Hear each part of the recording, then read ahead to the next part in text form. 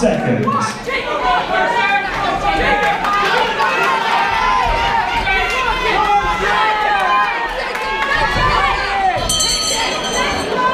Seconds out, third and final round.